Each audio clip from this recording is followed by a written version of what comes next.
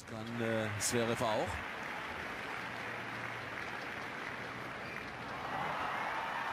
Das ist eigentlich die Basis, das ist die Base, von der aus dann die Turniere auch angesteuert werden. Na, die ist, die ist jetzt schon fertig.